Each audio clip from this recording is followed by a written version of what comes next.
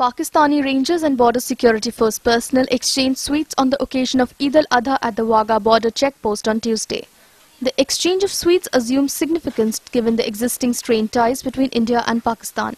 ईद उल जुहा के मौके पर पाक रेंजर्स ने बीएसएफ को मिठाई दी और हमने मुबारकबाद दे के बीएसएफ ने भी उनको मिठाई दी Eid al-Adha, also known as Bakrid, is celebrated on the 10th day of Dhu al-Hijjah, the last month of the Islamic calendar. As per the religious belief, Eid al-Adha is celebrated on the day when Prophet Abraham sacrificed his son, but God asked to offer an animal instead, so he sacrificed a goat.